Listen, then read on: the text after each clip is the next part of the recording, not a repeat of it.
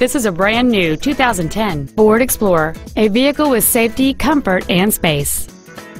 It features a six-cylinder engine and an automatic transmission.